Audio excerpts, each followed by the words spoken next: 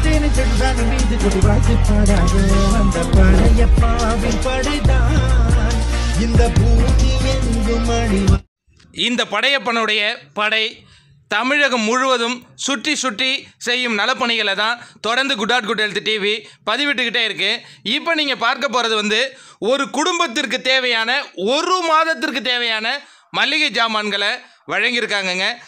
இந்த நிகழ்வை பற்றி நம்ம விரிவாக பார்ப்போம். நீங்கள் இந்த புகைப்படங்களில் பார்த்துக்கிட்டு இருப்பீங்க. பிஸ்கெட்டு பருப்பு ஆயிலு இன்னும் அந்த கொத்தமல்லி புதினா எல்லா விஷயம் புளி கூட இருக்குது பாருங்க. எல்லாமே ஒரு குடும்பத்திற்கு தேவையான எல்லாவித மளிகை சாமான்கள் அதற்கு பிறகு அரிசி. இதனுடன் சேர்த்து ரஜினி மக்கள் மன்ற நிர்வாகிகள் வழங்கியிருக்காங்க அப்படின்னா அவர் யோசிச்சு பாருங்கள் அந்த குடும்பங்களின் கஷ்டத்தை தெரிஞ்சவங்க தலைவருடைய ரசிகர்கள் அப்படின்னு சொல்லலாம். இது எங்கே நடந்தது அப்படிங்கிற விவரத்தை உங்களுக்கு நான் பதிவு பண்ணுறேன் அதாவது இருபத்தி ஒன்று நாலு ரெண்டாயிரத்தி இருபது.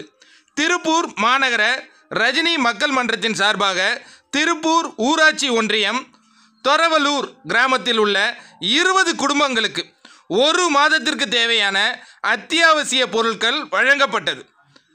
இந்நிகழ்வில் மாவட்ட செயலாளர் திரு பி.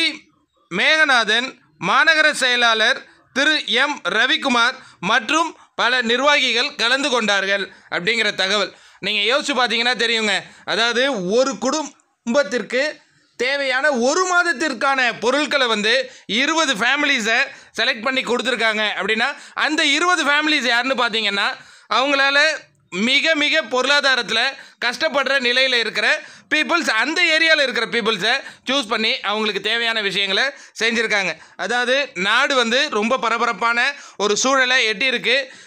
கொரோனாவின் தாக்கம் தொடர்ந்து குறைய தொடங்குமா? இல்லை அந்த சமூக பரவலுக்கு வருமா? அப்படிங்கிற கேள்விக்குறியோட இன்றைக்கி இருக்குது. அதனால் கஷ்டப்படுற மக்கள் அந்த பசிங்கிற கொடிய நோயில் சிக்கிடக்கூடாது அப்படிங்கிறதுக்காக ரஜினி மக்கள் மன்றத்தினர் ஒவ்வொரு ஏரியாவிலையும் தங்களால் முடிஞ்ச மக்கள் பணியை இன்முகத்துடன் செஞ்சுக்கிட்டு வராங்க. சூப்பர் ஸ்டார் ரஜினிகாந்த் அவர்களே சொல்லியிருந்தார். என்ன சொன்னார்? ஞாபகம் இருக்குங்களா? தங்களுடைய உயிரை பணையும் வைத்து மக்கள் பணி ஆட்டிகிட்டு இருக்காங்க அப்படிங்கிறது அதுதாங்க உண்மை. அதாவது இந்த ஒவ்வொரு நிகழ்வுக்கும் அவங்க தங்களை பணயம் வச்சு தான் அந்த மக்கள் பணியை செஞ்சுக்கிட்டு இருக்காங்க. கண்டிப்பாக அவங்களுக்கு அந்த ஆண்டவனுடைய ஆசீர்வாதமும் சூப்பர் ஸ்டார் ரஜினிகாந்த் அவர்களுடைய ஆசீர்வாதமும் இருக்கிற வரைக்கும் எதுவும் நடக்காது. நல்ல விஷயங்களை திறன்பட செய்து முடிப்பார்கள். இது அந்த ஆண்டவனுடைய கட்டளை. நீங்கள் என்ன நினைக்கிறீங்க?